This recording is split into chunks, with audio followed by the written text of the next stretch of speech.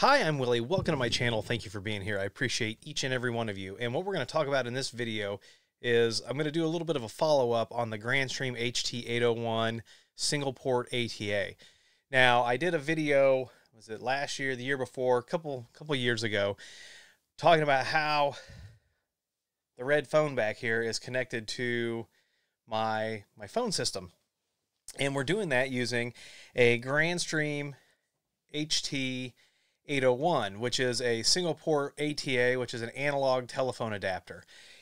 I've had a something has happened. The video has, has become popular again. I've had a lot of questions. I've had a lot of people reach out on our contact form asking questions about the service. So let's do a real quick uh, recap here. It is a single port ATA, analog telephone adapter. So it takes an analog phone. This is probably I think Grandstream might be the only one that supports pulse dialing, which is why I can use this. Maybe, maybe not, but I, I do know Grandstream supports the pulse dialing. It has a single line. It's got a 10 meg port. It will do SRTP, so you can encrypt the phone calls. You can do automated provisioning with it, whether you're using a Grandstream UCM or whether you're using a third party. It supports conferencing, failover. You can do faxing with it Caller ID, here's that zero config I was talking about. Supports advanced features such as call transfer, call forward, call waiting, do not disturb, message waiting, indicator, MWI light, the light on the phone, multi-language prompts, you can change the dial plan, all these things. Now, obviously, it's a little bit harder to do some of those with an analog rotary phone.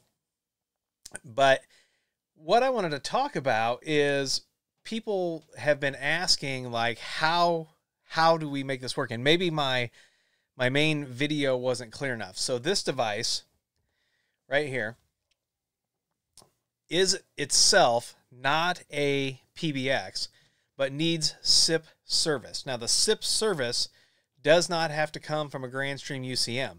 It can come from any PBX that supports SIP.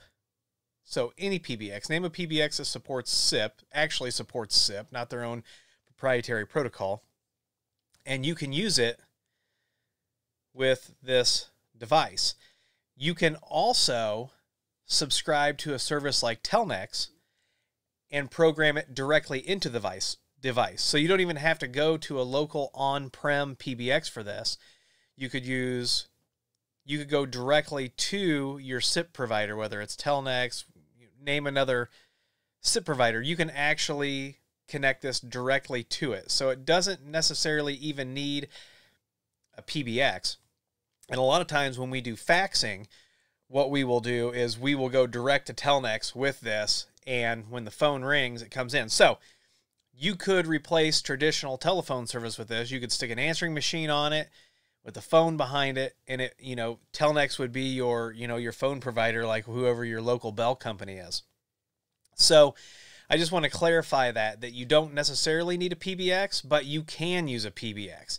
You just have to have some sort of SIP service coming into the device. If you've got more questions about this, let me know down in the comments. I hope that clears this up. Like I said, we can hook this to any SIP PBX. We can hook this directly to SIP service. Let me know if you've got questions about this down in the comments. Give the video a thumbs up, follow, subscribe. Go down and follow me on Twitter and TikTok. There are affiliate links below, a Patreon link. And if you need IT consulting, if you've got some of these, you want to get them deployed, you need some help, reach out at williehowe.com.